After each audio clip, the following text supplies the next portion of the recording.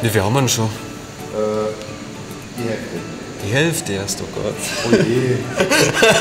Klausur an der Uni ist schlimmer. Ja, das stimmt auch wieder. Servus, ich bin der Tobias, bin 19 Jahre alt, komme aus Nöham, ist ein kleines Dorf hier in der Nähe von Anstorf und mache meine Ausbildung hier im Park und Stift Anstorf zum examinierten Altenpfleger. Beim Lindner mache ich ähm, ein duales Studium. Das setzt sich aus einer Berufsausbildung zusammen und einem Studium in Deckendorf.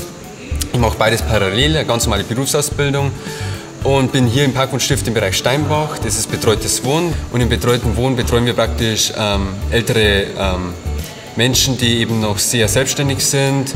Die haben ihre eigenen Wohnungen, was sehr speziell ist, ähm, ist nicht wie auf einer Pflegestation. Und die Privatsphäre von der Person ist immer ganz anders gestaltet, weil sie eben doch in einer ganz eigenen Wohnung leben. Wenn ich weiß, dass jemand gern mit Menschen arbeitet und auch jetzt keine Scheu hat vor Menschenkontakt, dann würde ich ihm auf jeden Fall sagen, probier es mal aus, mach mal ein Praktikum, ist auf jeden Fall eine Empfehlung wert.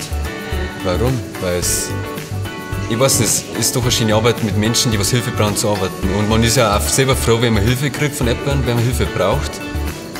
Und man geht mit einem guten Gefühl aus. Und warum nicht Norddeutschland? Ja, ich bleibe ja, ich, mein, ich bin Bayer, das ist meine Heimat und ich bleibe ja da. Lindner ist halt einfach so typisch Familie. Es ist halt einfach so wie daheim. Es ist einfach typisch bayerisch. Es ist keine aufgestellte Firma. Und ich glaube, wenn ihr, wenn ich auch so in dem Alter also als im Rentenalter war, und ich war hilfsbedürftig im Bereich der Pflege, dann da ich sofort hierher gehen. Ja, beim Lindner, weil es ein super Arbeitsplatz ist.